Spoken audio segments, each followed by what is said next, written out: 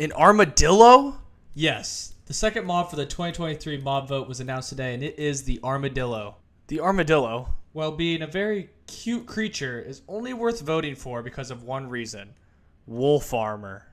Protecting your sacred wolf friend is the only real purpose there is to have in Minecraft. I would gladly sacrifice this cute new creature for the safety of my beloved Doug. Anyways, while it's obvious you should vote for the armadillo no matter what the last creature is, subscribe to find out the third and final mob in the vote tomorrow. Doug says, vote armadillo.